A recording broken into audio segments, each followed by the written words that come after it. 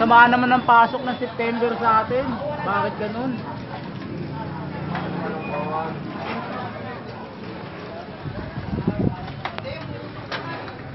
Kalati Sonya raw, umuusok pa. Kalati Sonya. Grabe. Kakakakawa sa ate Vicky. Sunog yung noo. Oo. Hospital na. Hindi, hindi, hindi. Yun na lang sa clinic. Anong red ko. Ah. Wala, ubos.